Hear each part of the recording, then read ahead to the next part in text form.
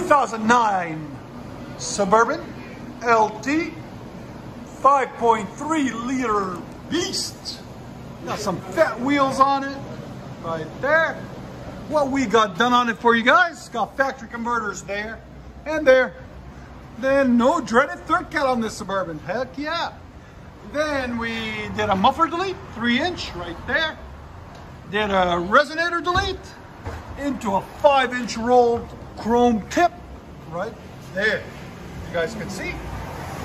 There's the resonator we cut off. There's the muffler we cut off. And that's what it looks like after. A lot cleaner, a lot nicer. Let you guys hear it in a second. Like always, guys, please like, comment, and subscribe. Have a good one, Owen.